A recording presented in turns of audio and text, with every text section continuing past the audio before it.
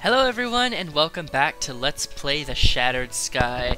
Now you might notice that the resources are different this time around and that's because the run I did yesterday actually failed. But I really wanted to keep the commentary for that one because I really liked it so I had to do a different take. And um, I went ahead and dropped the no bomb condition because um, I just kind of wanted to get this out and um, the game is kind of tough to no bomb and I, I had a couple takes after that, which just game overed from trying to no bomb. So I realized that it kind of wasn't worth it in the interest of time. So what I'll do instead for no bombs is that I'll just do like a stream or something later or another day, and we'll just go for the no bomb there. Also, I want to point out that this is a post commentary. Um, so I had commentated the LP, like I had done this take and everything, and for some reason DxTory didn't record my mic, even though I told it to. So, yeah, I'm sorry. This is gonna have to be post commentary. I could do another take, but honestly, I've done like five takes of stages four through six, and I just I can't do it anymore. So we're gonna have to get post commentary this time around. Luckily, with post commentary, it does make it a little easier for me to explain things. Um, so anyway, I should have already been explaining how Stage 4 worked. So, the one big thing you'll notice is that, I mean, this stage in general highlights this, is that when you kill an enemy, bullets around the enemy will disappear. So, what I've been doing was I've been memorizing the spawn points of all these enemies and killing them super fast and clearing out their bullets before they can really do much. Um, you'll see that on the ferry coming up right now, this ferry. So if you just memorize where it spawns and kills it, then it'll get rid of the bullets that it spawns upon death. Alright, so for the mid-boss non, um, it might look like it's a random mess of random walls, but actually there is a safe area on the left of the screen, right there, on that wave. Just go a little bit to the left, and you'll get a gap. That's just how it works. Um, and then right after that, you'll get a few more fairies, and then it'll introduce the motif of this stage, which is the laser raindrop fairies. These are quite common on the latter half of the stage. Now, as soon as you kill it, make your way to the right, because there's going to be an aimed section coming at you, and you'll want to start streaming that. And you'll want to start streaming it to the right, because if you're on the right side of the screen, then you'll be able to kill this fairy here that spawns, and then you'll want to dash to the left and kill the other fairy that spawns. Then if you go back in the middle, you'll be able to kill the um, laser raindrop fairy, and then dash to the left, because on the left side of the screen, one of those aimed things appears again. So, yeah, you can see the general common theme among this stage is just to memorize the spawn points of the enemies and make quick work of them. Um, it's a lot, a lot of rooting, but it's very, very, very, very doable. Actually, most of the time you make a mistake in the stage, it's just going to be because you hit random raindrop bullets. Those are, like, no joke, the hardest threats in the stage. Uh... Alright. So, on this part here, you don't even have to worry about killing them both because the part will end as the mid-boss appears. So, yeah, I just kind of chilled there for a bit. Now this mid-boss is like the edgiest mid-boss ever. she wants you to leave her alone! So the non-spell isn't too bad, but the spell card is actually, ironically, one of the harder spells in the game. It's one of the top three hardest things, um, for weird reasons too. It just, it's not something you can underestimate. So the hearts will curve at really weird angles, and then you'll also have raindrops coming out of nowhere, and the raindrops can spawn anywhere on the screen, so if they kind of spawn near you, you might be screwed. But um, fortunately, the raindrops don't get covered by the hearts. They, they pass over the hearts, so you won't have to deal with any hidden raindrops surprising you. Um, I actually did capture it in this run, which is really nice. It's a really difficult spell, so capturing it does feel kind of good. Now, after the mid-boss, you want to immediately start streaming because, yeah, there's um, a lot of streaming going on here. But thankfully, they don't require you to move too much while you're moving, so you don't have to like do wide stream. You can just stream like slowly and it'll be okay. Um, there's like tons and tons of streaming waves though, so you don't really have any time to use any of the vortexes unless you want a bomb, but I won't be um, doing that just because I don't really think it's worth it.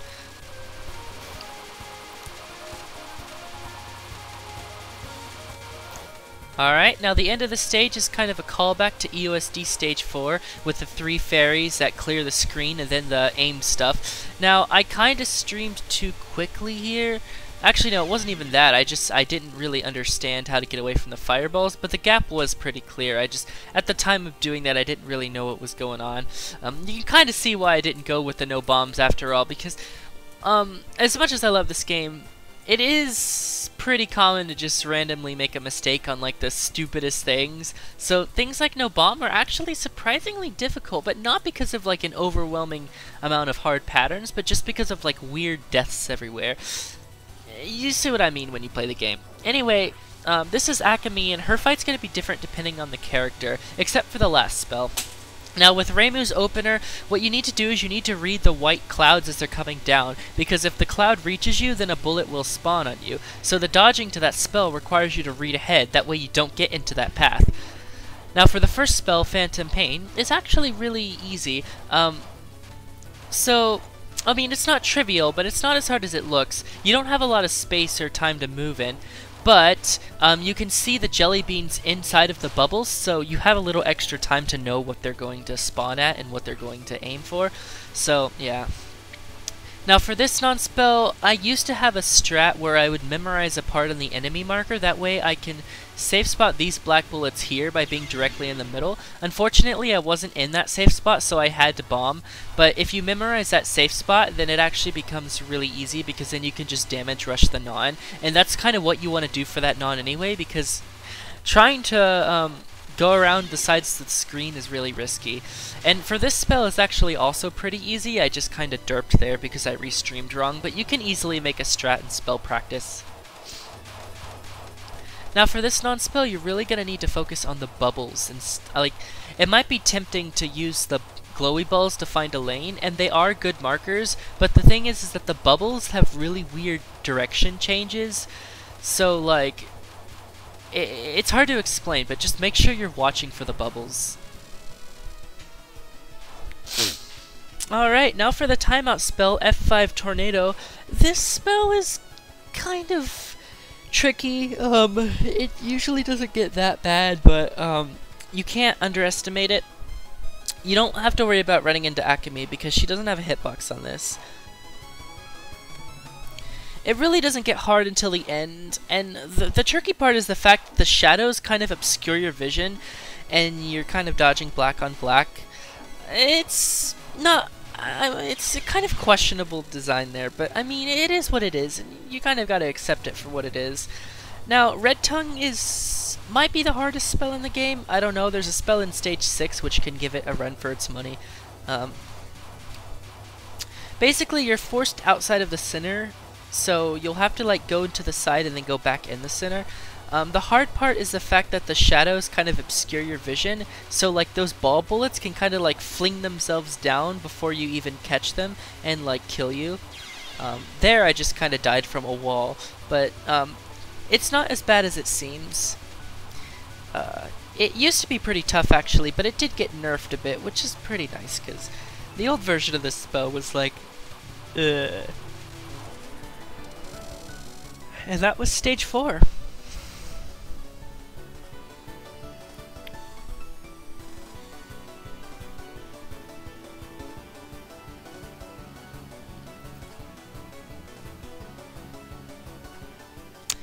Now then, for stage 5, you're immediately going to be greeted by a lot of streaming. Just really fast streaming that's trying to overwhelm you.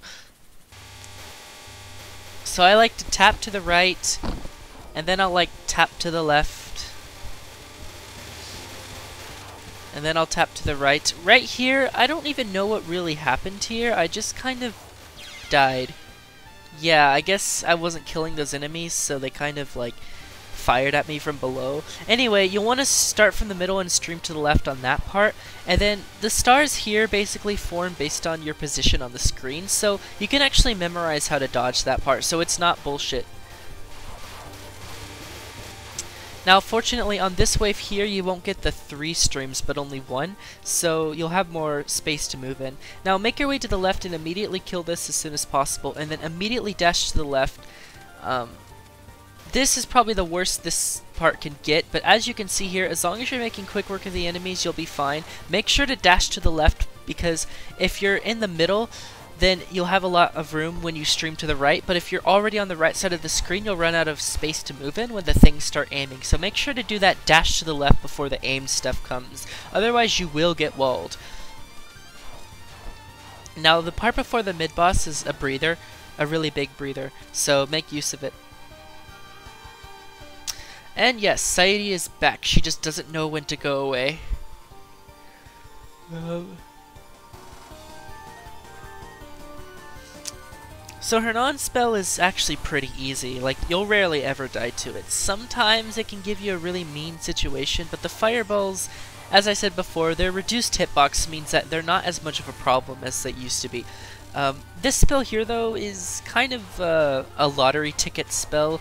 N not to be like mean or anything, but um, basically if a meteor does go in the middle and if they keep going in the middle then you're kind of screwed. Like right there there wasn't really anything I could do. But that doesn't really happen that much. It, it's just one of those rare situations. I still would advocate for staying in the middle as much as possible simply because getting the speed kill on that is really important now for this second half of the stage, it's really important to memorize where these twisty fairies spawn from. Like as you can see, I streamed from the middle to the left, and the reason I went to the left was because I wanted to kill that twisty star fairy as soon as possible.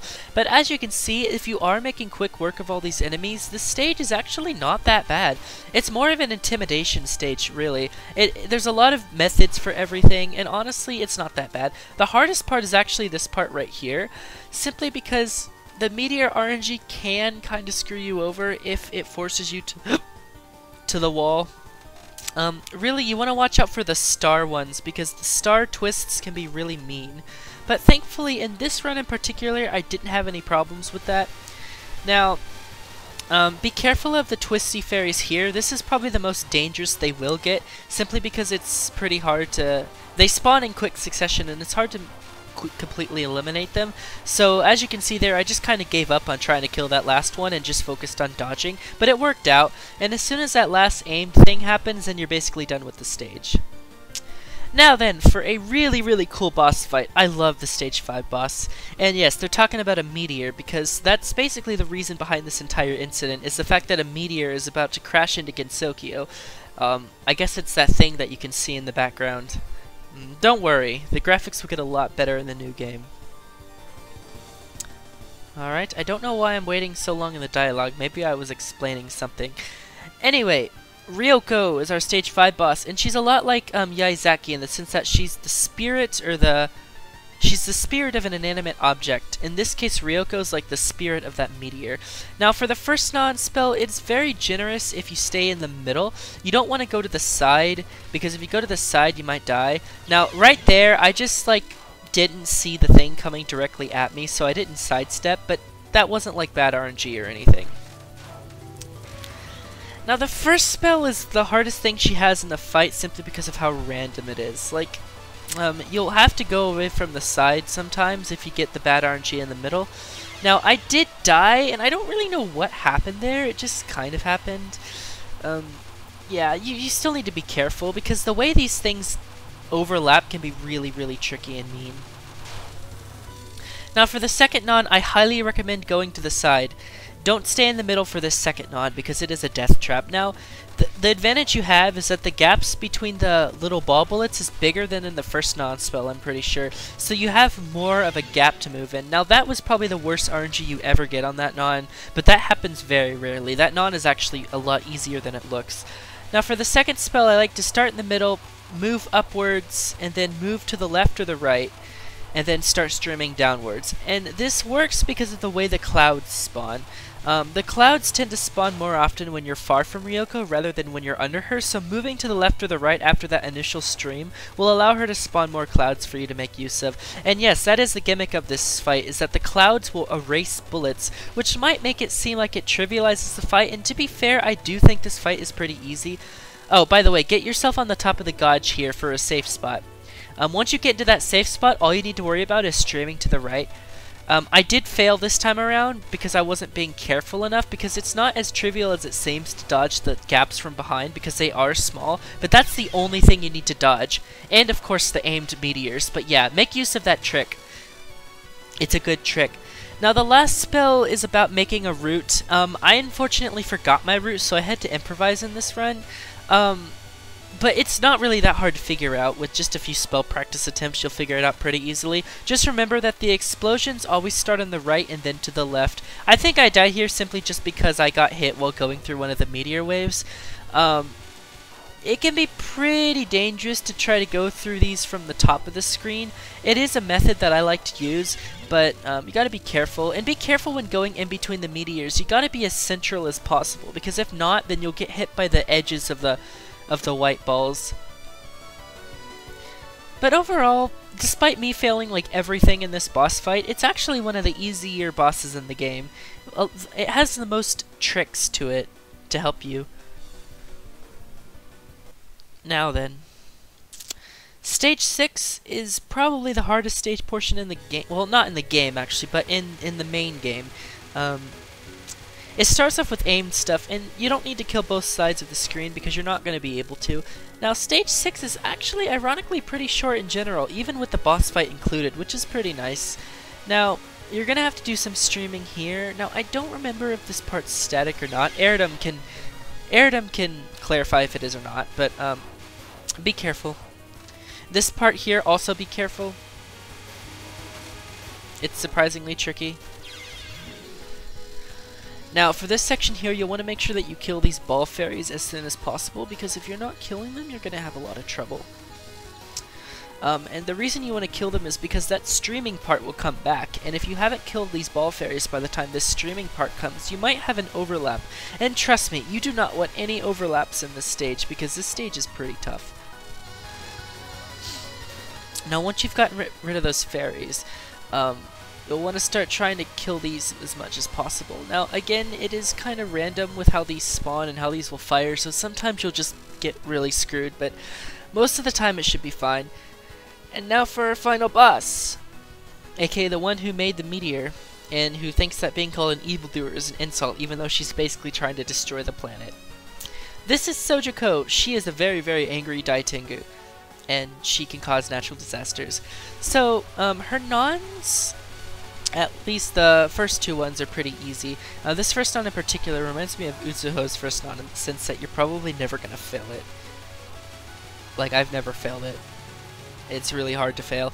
Now, for this first spell, you, you can kind of lure her off screen a bit, which I don't know if it actually helps that much, but I, I like doing that anyway. Um, the goal though is to go on the opposite side of the screen that she fires the bubble in because the way this spell works is that she'll either fire a bubble on the left or the right and you'll need to go on the side opposite from that in order to be safe. Now, yeah. This is one of the hardest spells in the game. It's it's one of the top three, which is Red Tongue, Akemi's Final, that is, the mid-boss spell in Stage 4, and this spell. These are the top three hardest ones in the game. And they're all just really random which kind of explains it. Now the second non isn't that bad. It's got a weird trick to it. I just kind of derped here. It's actually kind of an embarrassing mistake, but yeah, it, it's not as hard as I made it look here. I just kind of, I was a little too high on the screen and I wasn't moving down with the needles, so I got surprised there. Now for the second spell, you're going to want to damage rush her as much as possible. The thing is, you're going to be forced away from the middle, and you have to dodge pretty high on the screen, which is unusual for a Touhou spell. But anyway, the reason you want to damage rush her is because it's very, very, very, very, very important that you kill the spell in two waves. If you have to dodge a third wave, it can get pretty dangerous from what I recall. So as long as you're damage rushing her and moving away from the middle as late as possible, you should be able to finish it off. Now then, um, the second half of the stage is pretty tricky um, because the way these spawn is that if they all spawn far away from you, you won't be able to reach them in time, so you can get kind of walled, but usually it should be okay. Reimu B is admittedly not the best at that part. Heaven help you if you're playing Marisa B. Actually, Marisa B's speed might make up for that. Anyway, the last fairy is really nice and gives you a 1-up, It's also really easy to dodge, so I mean you don't really have much to worry about here. Okay. And try to hug the vortex as much as possible. I believe you can get two 100% from this vortex, but it's really hard to do. I think I've done it before, but like the weird thing about this game is that or this vortex in particular, is that it lasts throughout the dialogue. Well, vortexes always last throughout the dialogue if they're still on screen, which means that if there's a vortex during a dialogue, you can make use of it, which is really nice. Alright, now for the second half of the Sojiko fight. So, now, for some reason, the spells are going to be easier than the nons. Yeah. Um, anyway, this third non isn't too bad, but don't underestimate it. You can get surprised by the red bullets that come down.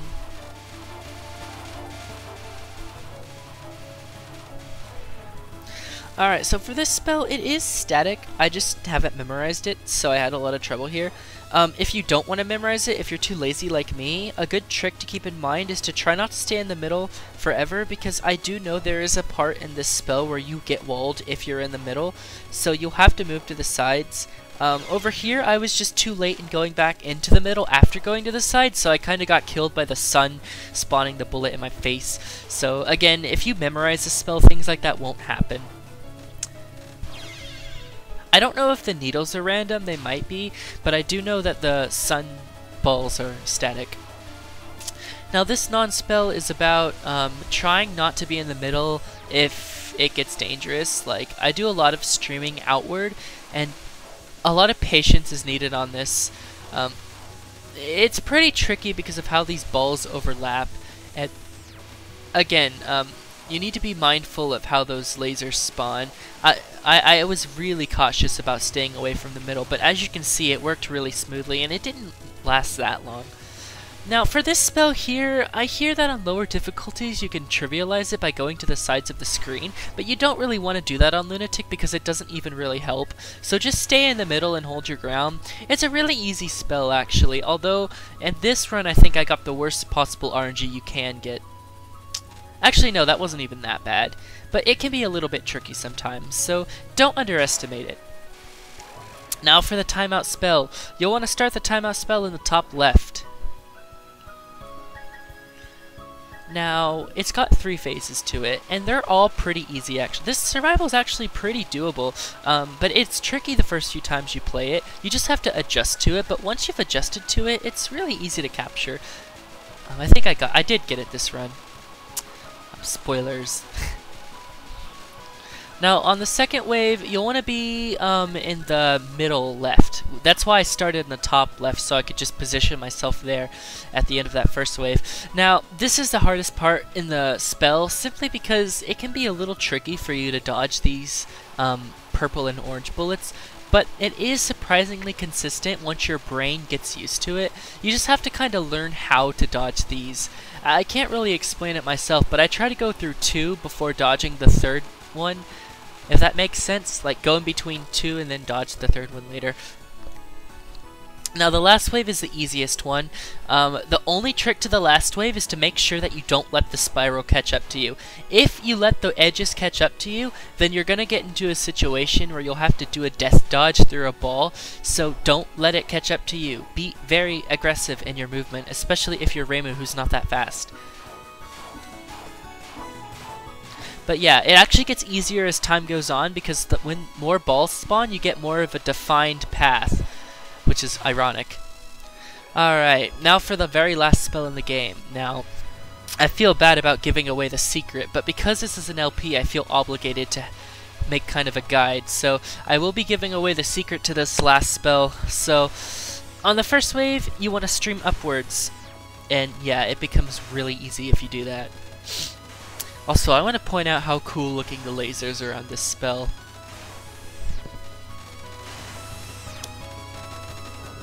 And then move upward and start streaming down. Now when you stream down here, you'll have to make left and right movements, um, but it's still very easy as long as you don't move too much. You can still find nice gaps. Now, um, I did kind of mess up here for some reason. I don't even know what necessarily happened. I think I just tried to move up too early and I clipped the edge of one of those rice bullets. Um, anyway, for this section here, the important part is that when you move, there comes a time when like the lasers themselves will like spawn in a really horizontal weird position and basically you I can't even explain it. Basically just you'll you'll know what I mean when you play the spell. You'll get confused into thinking you can go up, but reality you'll die so instead you need to go left. It's not that bad though. It's pretty easy for a spell. I think there's definite RNG on the final phase, but you can get consistent at it if you know what you're doing. And by the way, I want to point out I didn't write the ending dialogues. I didn't write any of the endings, so don't don't harp on me if there's any weird inconsistencies or um, typos. So, yeah, that was the Shattered Sky. I, I kind of feel bad that I had to do the post commentary thing, but um, I do acknowledge that just I don't have enough time to do another run. I mean, I do, but like I had already done like four or five takes, and I don't want to do any more takes throughout the day, especially since I do want to make sure that this run gets out today, which is the day that the game is released. In fact, there's already a download link, and I'll put it in the description. Um, anyway, yeah, this is Shattered Sky, a game that I actually have been kind of involved in. I didn't do too much for it, but I, I did do a lot, I think. A nice chunk. Uh, mostly just dialogues and lunatic testing, as it says right there. Yeah.